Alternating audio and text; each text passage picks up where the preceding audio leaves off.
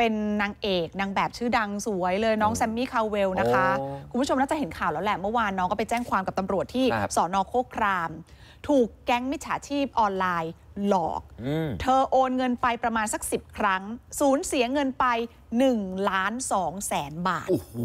เยอะมากนะ คือกว่าจะรู้ตัวว่าโดนหลอกคือ1ล้าน2แสนบาทแล้วอะโอ้แล้วจุดเริ่มต้นคืออะไรอะเริ่มต้นเรื่องก็คือ เธอซื้อกระเป๋าแบรนด์เนมมาใบหนึ่งฮะ60,000บาท แต่เธอรู้สึกว่าเธออยากจะขายต่อ มันไม่ใช่ที่เธออยากจะได้ตั้งแต่แรกก็อยากจะเปลี่ยนแล้วอะอยากจะเปลี่ยน ทีเนี้ยก็พยายามโพสต์ขายครับในโลกออนไลน์ มีคนทักมาว่า อุ้ยเนี่ย มีเพจ Facebook เป็นกลุ่มกลุ่มหนึ่ง เขาซื้อขายกระเป๋าแบรนด์เนมกันอยู่ในกลุ่มนี้อยู่แล้วครับลองไปโพสต์ขายในกลุ่มนี้ไหมเออน่าจะมีคนสนใจซื้อ เธอก็เลยลอง inbox เข้าไป ไปถามข้อมูล แล้วก็เข้าไปในกลุ่มไลน์ และกลุ่มไลน์กลุ่มนี้สมาชิกเป็นร้อยคนโอ้มันดูน่าเชื่อถือมากครับและสมาชิกในกลุ่มไลน์นี้เขาก็คุยกันเกี่ยวกับเรื่องของการซื้อขายสินค้าแบรนด์เนมฮะแต่ทีเนี้ยมันจะต้องมีการโอนเงินไปก่อน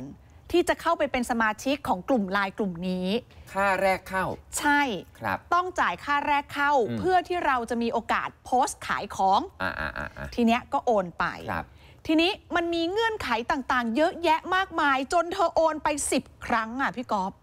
เงื่อนไขอะไรทำไมต้องโอนเงินทุกครั้งเป็น 10 ครั้ง1ล้าน2แสนบาท เธอถึงมีสติว่า เดี๋ยวเฮ้ยเดี๋ยวขอขอคันที่เดียวย้อนไปอีกทีกระเป๋าราคาเท่าไหร่นะ หกหมื่นบาท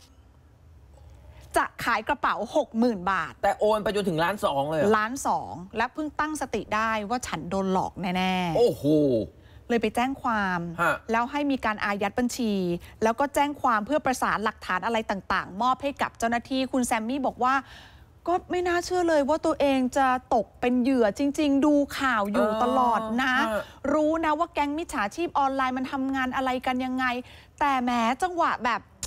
หลงเชื่อไปง่าย ๆ เฉยเลยอะไรแบบเนี้ยแต่จริง ๆ แล้วมันน่าจะมีรายละเอียดอะไรมากกว่านั้นครับที่น้องบอกว่ายังไม่อยากจะให้ข้อมูลเพิ่มเออเดี๋ยวจะไปให้ข้อมูลกับทางตำรวจและทางฮะเจ้าหน้าที่ดีกว่านะคะ จะได้เป็นหลักฐานในการดำเนินคดี แล้วก็สาวไปให้ถึงต้นตอเอาผิดกับคนที่ก่อเหตุเออซึ่งไม่ง่ายนะคะนั่นน่ะสิการจะเอาผิดคนที่ก่อเหตุในลักษณะนี้ ซึ่งจริง ๆ แล้วอืมการหลอกลวงในลักษณะแบบเนี้ย เคยมีคนตกเป็นเหยื่อหลายครั้งมากครับและไอ้กลุ่มไลน์ที่มีสมาชิกเป็นร้อยคนอะ มันแก๊งเดียวกันเออมันเป็นพวกเดียวกันหมดใช่มันทำทีเป็นคุยเรื่องที่แบบอ่าอ่าอ่าอ่าอ่ามันมันมันมันกลุ่มเดียวกันน่ะมันเป็นมิจฉาชีพครับทั้งกลุ่มเลยเออทำให้เราหลงเชื่อไงเหมือนปลาฮุบเหยื่อแล้วอะ จริงเออโอ้โห ทีเนี้ยเธอก็เลยบอกว่ามันทำเป็นกระบวนการจริง ๆ นะ ทีเนี้ยเหมือนกับว่ามันมีหลายอย่างอะอะสมัครสมาชิก ได้เงินปันผลอ่าอะอะมันมีอะไรตรงนี้ด้วยอ่าอ่าได้เงินอ่า ปันผล มีการได้รหัสผู้ซื้อผู้ขาย อืมลักษณะแบบนี้ เหมือนหลอกให้ลงทุนแล้วล่ะอย่างเงี้ย ถูกมันน่ามีจะปันผลนี่อะค่าสมัครสมาชิกแล้วหนึ่ง เออ อ่าและค่ารหัสผู้ขายอีกหนึ่งอ่าอ่ากว่าจะขายได้ ลงทุนด้วยกันไหมเดี๋ยวมีเงินปันนั่ผนลแหละให้เป็นการนั่นแหละ ลงทุนขายสินค้าออนไลน์เหมือนกับทุกคนในกลุ่มนี้ เป็นแชร์ลูกโซ่อีกแบบหนึ่งลักษณะแบบนั้นอืมก็เลยโอ้โหเสียดายเงินมากเลยล้านสองอะค่ะจริงก็หวังว่าเจ้าหน้าที่จะตามอืกลุ่มมิจฉาชีพออนไลน์ที่ก่อเหตุได้ อยากให้จับให้ได้ เพราะไม่อยากให้มีคนหลงตกเป็นเหยื่อเออของกลุ่มเหล่านี้อีกบางทีมันมันใช้คำว่าหลงได้นะ มันเบอร์เบอร์งงหลงหลงงงงเอาโอนโอนโอนไปอย่างเงี้ยใช่ใช่ใช่มันหลงกลอะ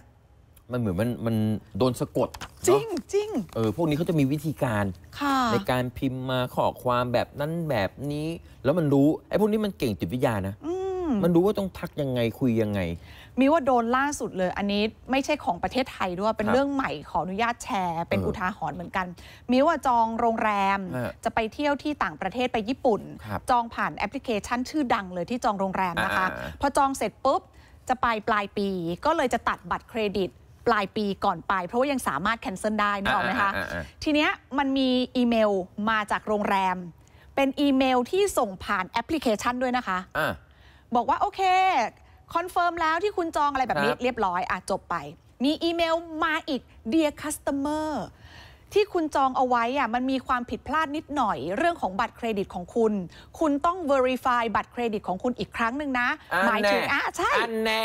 เป็นภาษาอังกฤษมาเลยพี่ก๊อฟอ่าให้คุณกรอกข้อมูลบัตรเครดิตของคุณอีกครั้งหนึ่งฮะแล้วก็ต้องให้ใส่จำนวนเงินค่าที่พักว่าคุณจองไปเท่าไหร่ เพื่อ verify ตัวตน แล้วก็ลงข้อมูลอีกรอบหนึ่งอ่าไม่อย่างนั้นที่คุณจองเอาไว้จะถูกตัดไปเลย ถูกแคนเซิลภายใน 12 ชั่วโมงอ่า